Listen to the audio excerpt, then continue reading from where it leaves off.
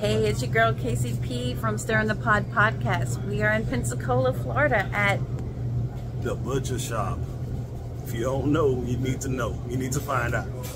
Check it out, guys. Wagyu beef cheeks. You're not gonna find this at many places. This is serious. Yeah, it's going down. going You should down. see my basket right oh, now. Oh, we about to show the basket. Oh man.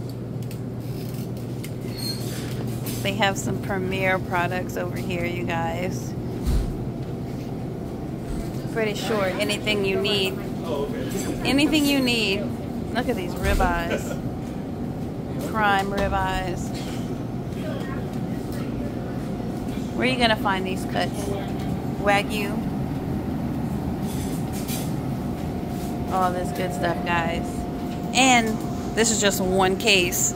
You got frozen case here. They even have Rocky Mountain oysters. If you know what that is, you know what that is.